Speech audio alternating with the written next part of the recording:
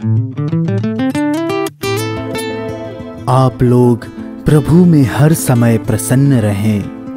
मैं फिर कहता हूँ, प्रसन्न रहें। सब लोग आपकी सौम्यता जान जाएँ। प्रभु निकट है।